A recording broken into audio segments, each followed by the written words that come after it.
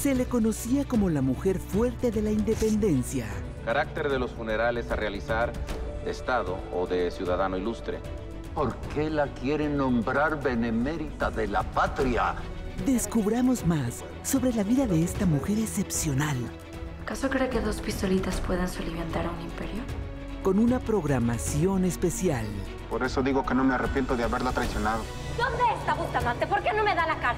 235 natalicio de Leona Vicario. Por Canal 22. La cultura se ve en todas partes. Consulta nuestra cartelera.